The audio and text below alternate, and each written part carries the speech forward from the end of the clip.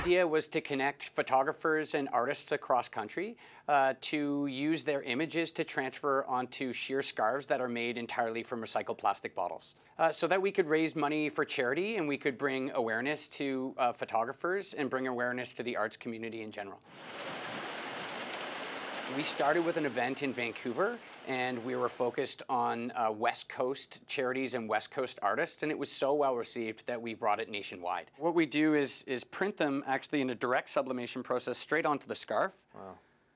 And you can see the vibrancy of color because it's a polyester material, which is the recycled PET. That's the recycled plastic bottles. It's post-consumer. Helping the environment and looking stellar in the process.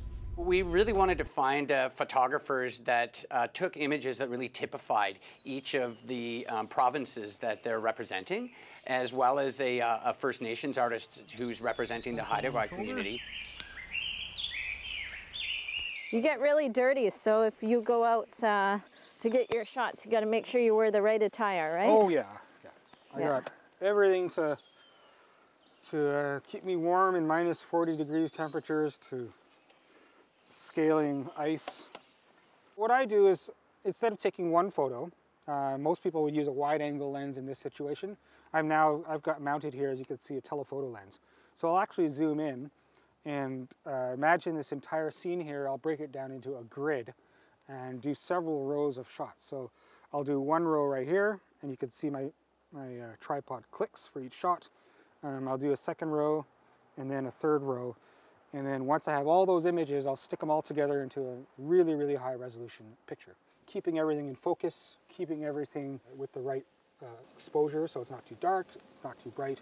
The stitching part of it is all done in the software. So it's if I do the picture correctly, um, the software will take care of automatically putting the photos together. This is your passion. You, you used to be in IT forever and yeah. then you went into this. So now you're in uh, artist, photographer, yeah. and uh, and then how did you get involved with InFocus? Kept asking the photographers to provide several different images, and then they selected what might look the best on a scarf. So when you fold it up, twist it, you know it's going to look good one way or another. Um, so he selected one of my uh, British Columbia shots from uh, Mount Assiniboine Provincial Park, which is a beautiful landscape. Uh, they sometimes call it the Matterhorn of North America. Wow. Oh my gosh, you took that. Wow. Yeah. So he's, the website is up. People are able to order and buy these scarves. Every time they order a scarf, each of us photographers, um, a portion of all the proceeds goes to a charity that we have decided to.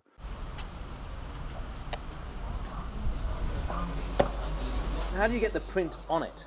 So it's a, a, print process called sublimation. We run the scarves through a roller machine and it actually prints directly onto the scarf fabric and then we cut and sew the edges and fray the edges. We regularly work with corporate clients to uh, build apparel and uniforming programs and we transfer images here, we do direct screen printing, we do embroidery, it's domestic manufactured, all the fabrics are coming from Montreal as well. So we engineer uh, new fabrics that are organic cotton and recycled PET, which is the same uh, fabric as the scarves, to build t-shirts, to build hoodies, uh, you name it. It's 100% recycled plastic bottles. That's incredible. Yeah, and it's all post-consumer, so it's literally diverting waste away from landfill. I often get asked why we work with these giant companies that generally aren't seen as doing good. And the reason being is the impact that they can have when they do the right thing is enormous.